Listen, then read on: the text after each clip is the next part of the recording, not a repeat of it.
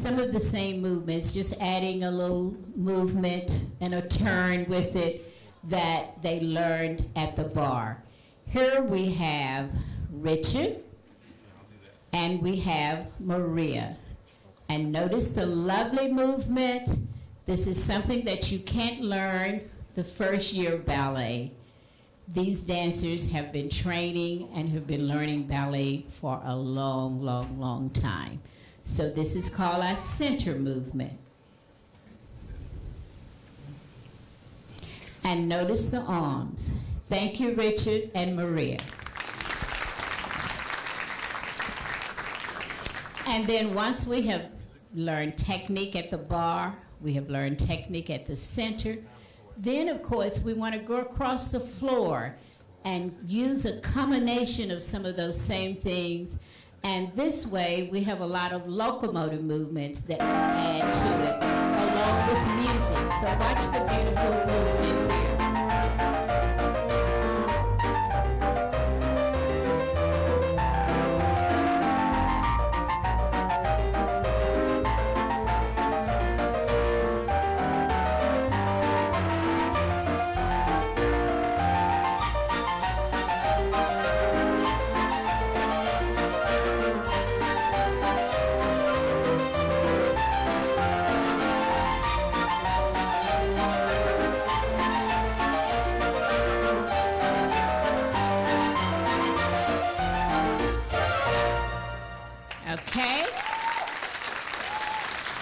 And this was Zach that accompanied Maria with movement across the floor.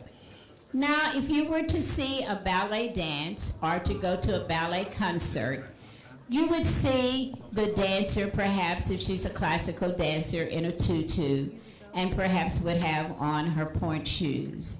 Here this morning, I think uh, Michelle is just wearing her flat shoes and uh, she's been accompanied by Zach. So we're going to show you what an actual ballet dance looks like. We have added a lot of the combinations, a lot of the movements. We start out with the simple steps. They turn into combinations. The combinations turn into phrases. We put the music with it, and we have a ballet dance. Do you recognize the music? From the Nutcracker.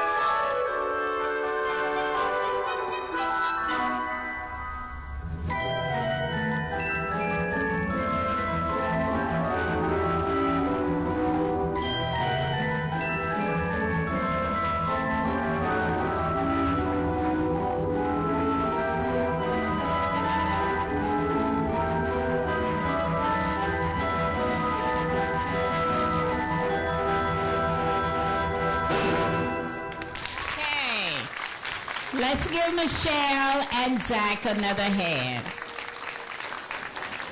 And what they did was use the various movements from the technique and made that into a little dance. So that was ballet. Let's give them another round of applause.